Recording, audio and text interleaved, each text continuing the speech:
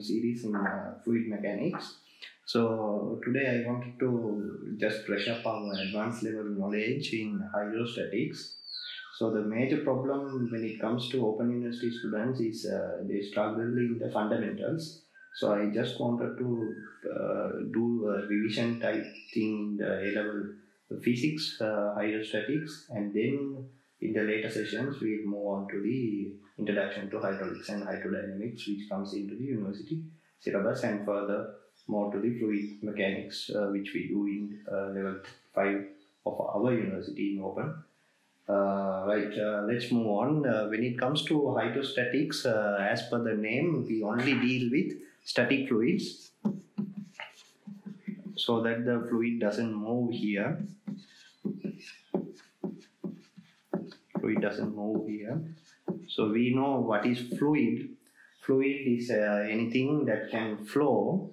So here uh, there are two types of fluid where we deal. One is the air and another one are the liquids.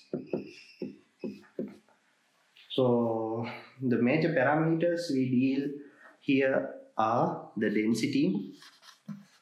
So we know what is density. Density is the mass per unit weight. So either we denote it in kilograms per meter cube or grams per centimeter cube. And the next parameter we deal is the relative density. Or sometimes it is said as specific gravity. So this is a relative parameter where a density of a substance is compared with the density of water. So the, there, would, there won't be any units. So it, let's say uh, when you take the density of uh, coconut oil, it's roughly uh, around 800 around 800 kilograms per meter cube and when you take the density of water it is around 1000 kilograms per meter cube. So the relative density would be 800 by 1000 which is 0.8 so the next major thing we uh, deal in hydrostatic is the pressure. So we all know what is pressure. Pressure is force by area. So simply pressure is equal to force by area. So the unit would be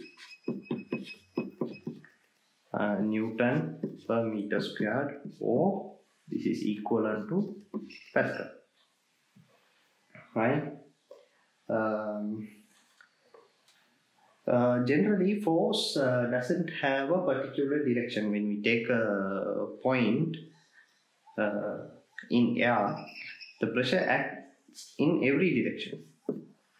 If it is open to atmosphere, it acts in every direction. So pressure uh, doesn't have a particular direction, it's a scalar quantity.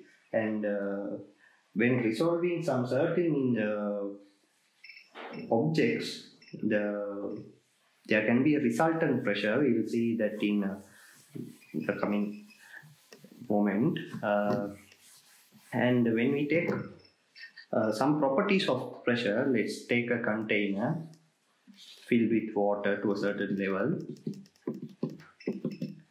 If this container is at rest, the pressure at a level, let's say this level, these are equal at every point. So that is another property of uh, the pressure. And uh, we can find this pressure uh, simply by uh, now let's say the weight of this water is mg. So the reaction would be r. So there would be a weight of this water. Let's say it is as mg. And there would be a reaction to the water from the container as r. There would be the same r on the container by the water. Let's say this area of this uh, container as A and height of this water as H. So what would be the weight? We can simply calculate. Let's take the density as rho. So the volume would be A into H. So the mass would be AH into rho. So mg would be equal to ah rho g. So we know pressure is equal to force over area. In this case, the force on the base is R, this reaction. So according to Newton's third law, this reaction would act on the liquid from the base of the container and the same time there would be a downward force on the container by the liquid. So R by A. So this R would be equal to mg, equilibrium of forces. So mg is equal to A H O G. So mg by so mg by A. So mg is equal to A H O G by A. So pressure would be equal to H O G. So this is a simple proof for saying that pressure uh, on this point is equal to h rho g the height into density of the liquid into this gravitational acceleration. So, so these pressure can be measured using uh, a U-tube manometer. So when you take a U-tube manometer,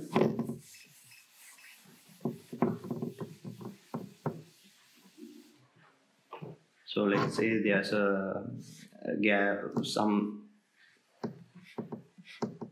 pipe where you need to measure the pressure and it is connected to a U-tube manometer. So here is the supply, some gas. So here let's say we have water. Due to this high pressure, this will be pushed down and this water column will be bit higher.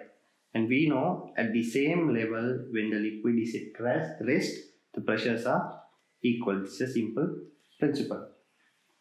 So here it is open to atmosphere. It is let's say the atmospheric pressure as pi. So this is PATM atmospheric pressure. So what would be the pressure at this point? So let's say this height as A. So the pressure at point A, let's say this is A. So PA would be equal to atmospheric pressure plus H rho G if the density of this liquid is rho. So at this point B, there will be the same pressure. So the pressure supplied by this gas flow at this point B is equal to pi plus H rho G. We can simply measure this, right? Uh, so there are two components involved in, in this pressure. That is the uh, absolute pressure and the gauge pressure. Absolute pressure is the actual pressure acting at this point A. So which is pi plus A rho G. So this is the absolute pressure. That is the true, true pressure. So there's another part which is known as gauge pressure. Gauge pressure uh, is the pressure acting in this point if the atmospheric pressure is zero. So that is the reading from the manometer only. So this part this is the gauge pressure part. So which is given by the manometer only. So you can just for remembering purpose if you find the absolute pressure and ignore the um, gauge, ignore the atmospheric pressure part you can find the gauge pressure. On if it is a simple manometer thing right? So we have seen how to find the pressure in a container if it is in rest.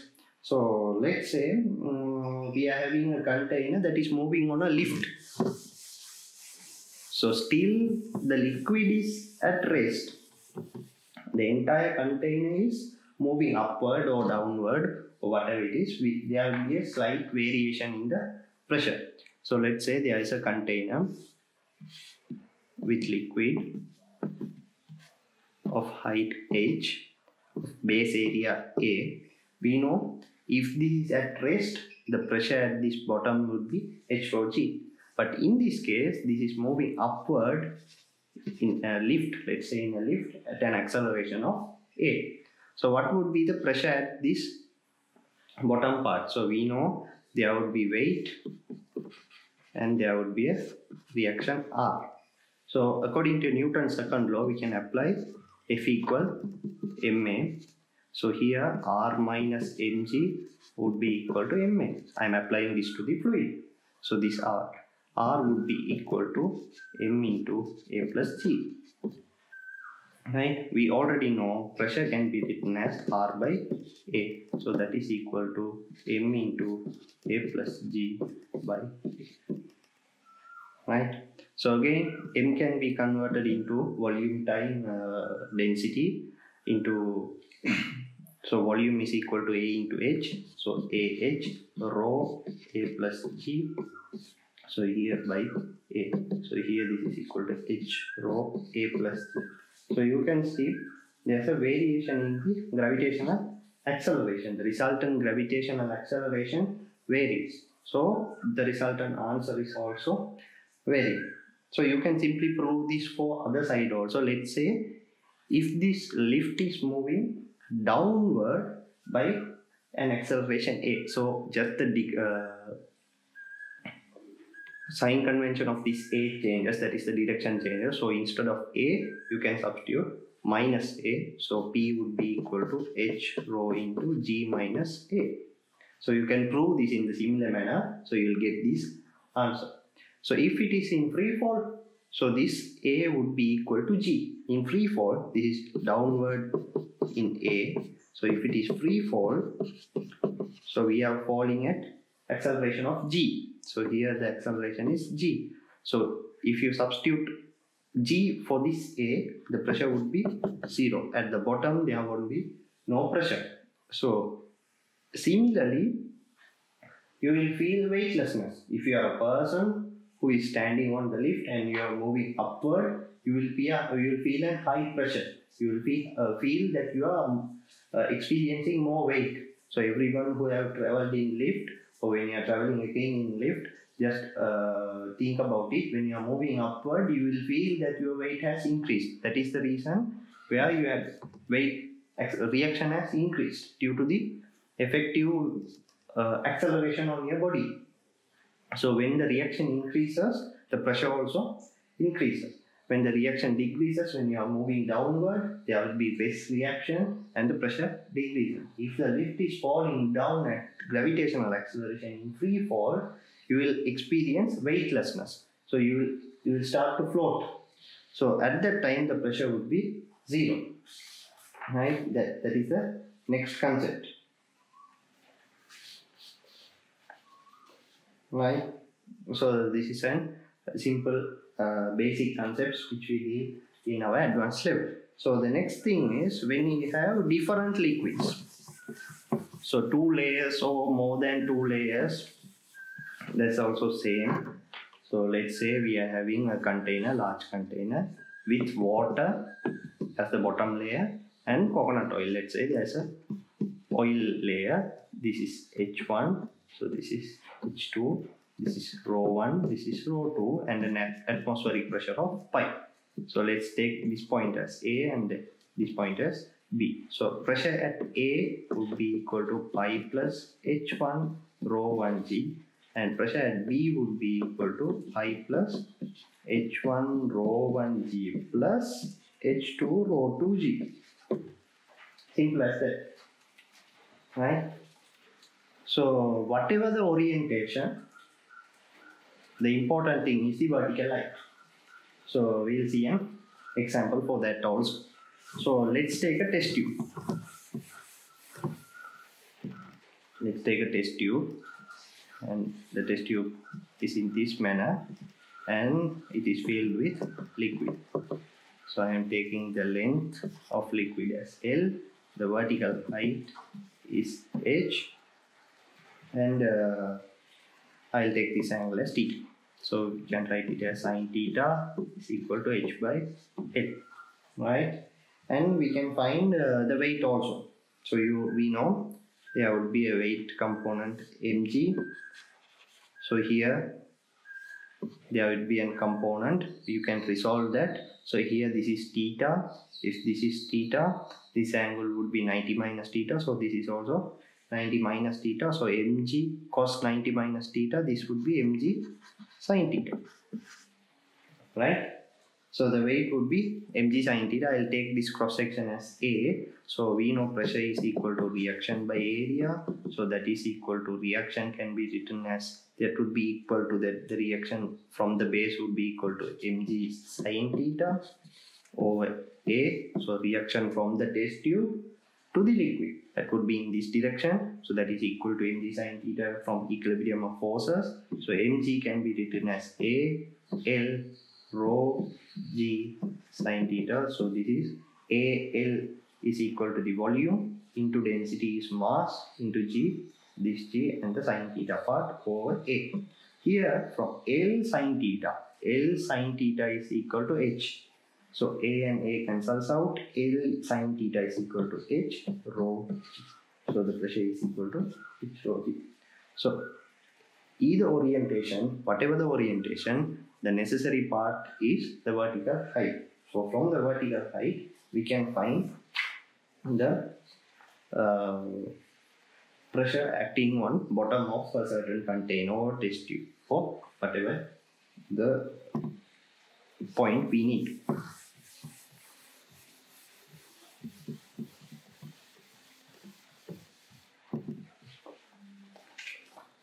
So the next thing is we'll take some different shape containers. So let's say a regular container. Here the pressure which is filled with water up to this level, the pressure would be acting in every point along this container in the bottom. So in this direction, in every direction around all the wall. So if you consider this part, let's say the height is h. If you consider only this wall, so the resultant would be at the middle. At, at h by 2, the final resultant force will be acting here. Here also there will be a final resultant force and the bottom also. When you consider the whole container, the surface forces will cancel out. Right? And uh, there will be a resultant downward force. Right?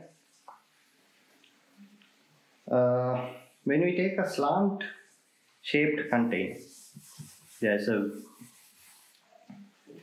variation in the shape, something like this, and filled with liquid up to this level. So the pressure will be acting in this manner.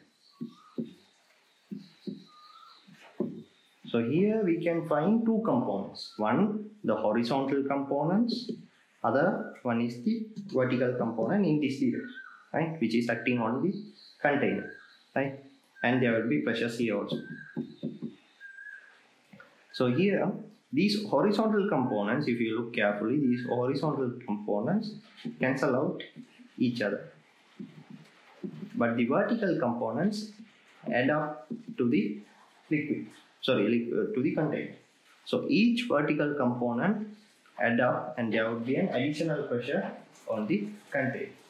If you turn around this container in the other manner,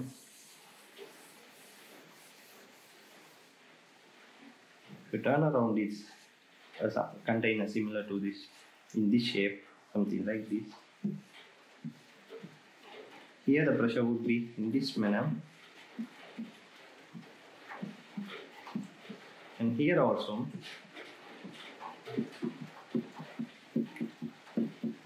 the horizontal components cancel out and the vertical components adapt and form a resultant pressure.